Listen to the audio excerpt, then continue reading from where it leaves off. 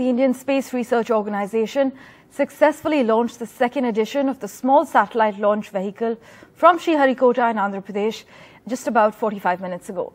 The SSLV D2 soared into the skies from the first launch pad at the Satish Dhawan Space Center with three satellites, including the one developed by 750 girl students from across India at 9.18 a.m. this morning.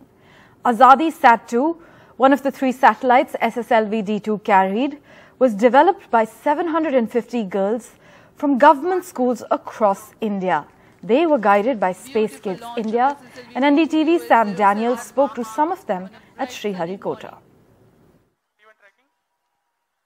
प्रज्वलन और सफलतापूर्ण उत्थापन SSLV डी2 प्रोमोचकियान Bharat का एक और महत्वपूर्ण mission दिन के उजाले में दूर तक दिखाई दे रहा है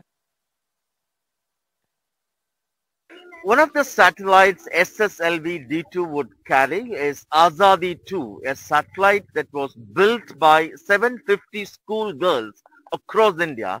They were all guided by Space Kidz India remotely and we have many of them with us at Sriharikota. Thank you all very much uh, for, for speaking to us. Uh, how excited are you about the launch? We're extremely excited. We hope that we are sure that it will be a success this time. It was the earlier one was the learning experience. Experience Failed. can never failure. Right. It, it didn't fail. It is a learning experience. Right. Learning learning experiences can never go wrong. What would this mean uh, for children like you being part of this building exercise, building a satellite? uh, it would be like it built our confidence Mhm. first of all. It Mhm. it um it improved the teamwork Mhm. part, and it will also give confidence to the other girls, and it will increase the enthusiasm. Part of all girls team to build this satellite? Um, being a part of all girls team first, I feel like girls are very energetic. They're very confident in whatever they do. And if we are given a stage, if we are given a platform, we'll shine definitely. And see, 750 girls are building a satellite. It would be a grand success. I'm sure about this. For someone who doesn't know about this, what is this satellite all about? Azadi 2, what will it do once it's launched? Two satellite, satellite go in the spy, space at our thermosphere layer away from 550 kilometers from us. It will tell the temperature, humidity, and many more about satellites.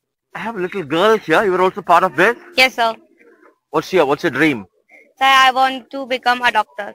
Not a space scientist. Sir, I would love. Anybody would love to become a space scientist here? from this side? Yeah, why? Because मैं क्योंकि With me, Srimathy, the brain behind this. How important is to nurture this interest among young children? It's absolutely important because, uh, you know, catch them young is the slogan. People call rocket science as, you know, something which you don't understand. But, uh, you know, it is not like that. It is not like that, right? These children are a testimony to that, you know. Enjoyed a lot. They have worked hard for this. Thank you all very much for your time and wish you all the best as we all. And that's the team, the team, Azadi 2 team talking to us.